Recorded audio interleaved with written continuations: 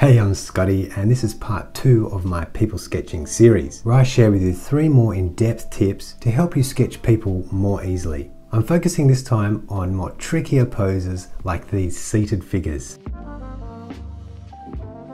So in tip number one, we're going to go in depth on how to sketch a seated figure using a silhouette. So what I'm going to do is I'm going to ignore the arm and the bag and the knee at first and just get the body shape in. Okay, so we start at the top as usual. And we get a very loose, I'm holding the pen loosely in the middle of the pen, very loose silhouette. Just the head and I'll make sure I've got the chin here because I want to know the length of the head later. We'll go through a bit of the proportions, how to draw proportions of a seated figure um, a bit later on. Okay, so now I'm going down to, I'm skipping where the arm is, I'm just going down to the bottom. And then we have a foot here, the shoe, but what I really want to focus on is the length of the body. So I'm not even looking at that arm, I'm not looking at the knee.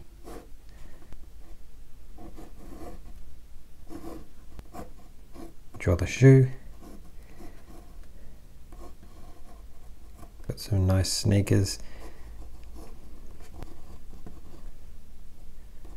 Okay, that sneaker a little bit lower. So I recommend when you're drawing really fast silhouettes of seated figures, I would just get in this main body shape and the leg shape here. So now we can look at the arms. The elbow comes out to there. And the hand. It's very quick. To find where the knee was, I was actually checking my proportions very quickly, which I'll show you later, which is a bit trickier when you have a seated figure. Um, and also was checking this point of the shoulder and this point of the knee to see if it was about the same angle. Now to find this point of the knee, I can see it's a bit higher than the other knee. It comes in about there. Let's draw the shoulder. And then the hand can just be a box like that. And then you can draw some fingers within the box. So I have a little square here and a little square here. Same with here. The great thing about fast sketching is you don't have to focus on those things too much.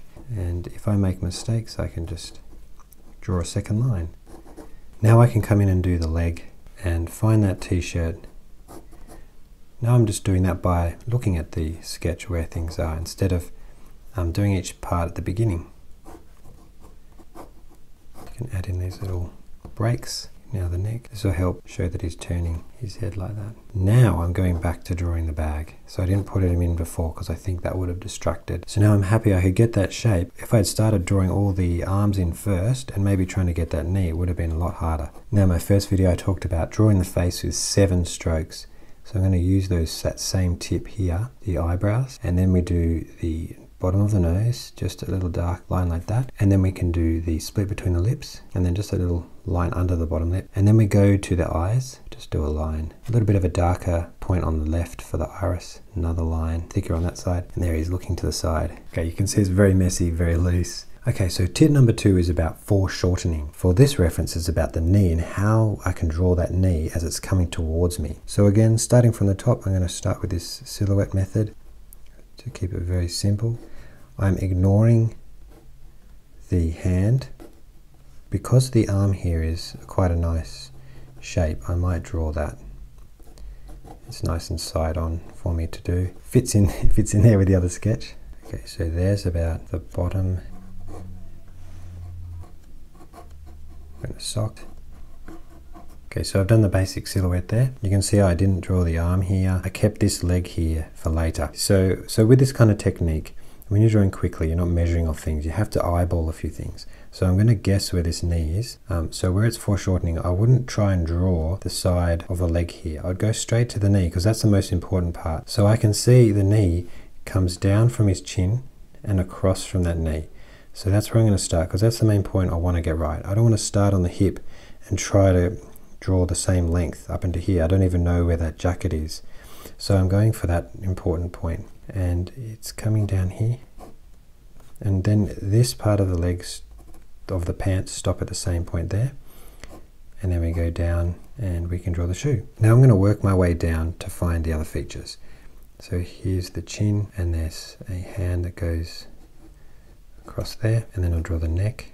So building down these features, comparing comparing them each to the last feature.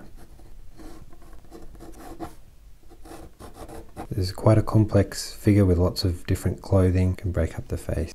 Here, shadow of the nose, and then the bottom lip, a line for the eye. This line is slightly shorter because his head's turned, so you can't see as much of the eye. So now I can add in a few lines for the fingers. He's got some awesome socks. I'm going to have fun using some watercolor on this later, lines to add some nice detail to the face.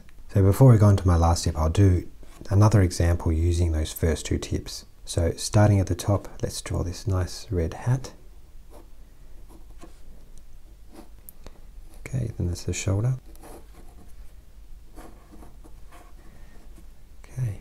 With clothes like this, I would recommend having a guess. With clothing like this, I'll just have a, a guess, make it expressive and loose, um, and then get the main features like the feet and the hands later.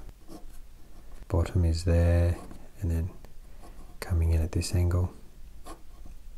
Looks like the foot is here. I'll ignore the hand for now, like I have been. Coming across here. Sorry it's all overlapping. So there's a quick silhouette. It was really important for me to find this point at the bottom. Um, then I can base where the feet go. So I'll show you in the next sketch how to find that point. Now I've got the silhouette. I can do a boxy shape for the hand here. And the elbow comes out to here. Lines like that. Because I'm more confident where it fits, it's much easier. Okay, the hair is like this. Shoulder is about there. The clothing comes all the way down past the bottom and then another hand. So just looking at the outside silhouette. Fingers between the bottom of the chin, that knee point was about halfway. I could see that as I was sketching. Now I can add in the details here. Not much space for the bag. I'll get these stripes and Really nice to have a bit of detail like this to give contrast between the different areas and this this leg here is foreshortened but I didn't draw that thigh in. I just started at the the knee and drew down to the foot. So tip number three is using proportions correctly on a seated figure. In my first video I talked about when they were standing straight and it was easy to divide the figure up. I talked about using the head and then going down three to the crotch and then three to the ankles. When they're seated I just wanted to emphasize this. So we start at the top and draw the silhouette of this girl here like this. Okay, so the important thing is to get proportions, I find, is to find the head length. The way I do that is I've got the silhouette of the head and then I draw the chin. So I know the length. So from the shoulder you go down three heads. One, two, three. So at this point, that is where you see the bottom on the chair or on the ledge here. So when I get that from the shoulder, one, two, three, I know that's where I can stop. So the tricky part now is how long is this leg? When I first did this, I measured from here to the knee, being one and a half heads. So then the knee was very, very short. It didn't make sense. So that was my mistake. So actually you want to measure the leg from the end of this round part of the bottom. So about here. So on a standing figure, we go three heads from the crotch to the ankles. So we measure here from this side of the bottom, one and a half to the knee, and then another one and a half to the ankle. With this particular reference, because it's focused in, the leg looks slightly longer, but I'm going to continue with the silhouette. Silhouette comes down like this, just to get a rough idea of where things are. So because I can come one and a half heads to the knee, one and a half heads down to the ankle, I can draw the shoe. So hopefully you can see that even with that other jacket there. So now I can confidently go from here. So that is where the thigh is and then goes down to here. The other knee. Okay, now we can go up and finish off the rest of the details up here. There's the neck. Get the shoulder in here. We can't even see where the elbow is. But that is just the expressive nature of just sketching quickly. We don't have to work that out. So then the hairline is about there. So we put in the eyebrows, the split between the lip, one line for the eye. So add some details onto the jumper and the seam. Hold the pen a bit lighter here. So to finish this off with a very light wash, I'm going to use my new Kuretake watercolor paints here. To try those out.